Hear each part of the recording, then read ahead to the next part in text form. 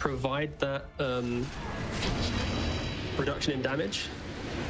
That's Right, very nice job on the Lotus Orb here, and now they can look to start the fight. SabeRLight's going to be the target right now. Sunray's coming through, and he does absolutely nothing. Down goes Sablite, buyback from him, as Abed and Arteezy just trying to find a way to get into this fight, but there's not really any direction they can move in from.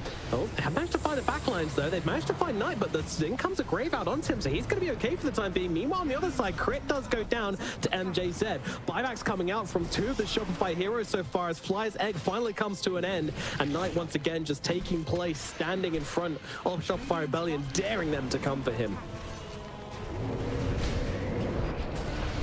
Come around the side, but in comes the Eclipse. Arteezy is trying to go through right now, but it's too damn hard. It's too much damage, and now the Bristleback's on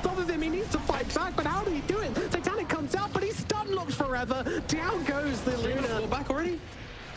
Oh no, he's just in the middle of everything right now, trying to fight this one up, but it's not going to happen. The Centaur, he gets torn down as well. And once again, the moment these fights get broken, it is just thunder all the way home. Radiant's bottom tower is under attack. And Knight instantly Look at this, they're just ignoring Roshan, they don't care. I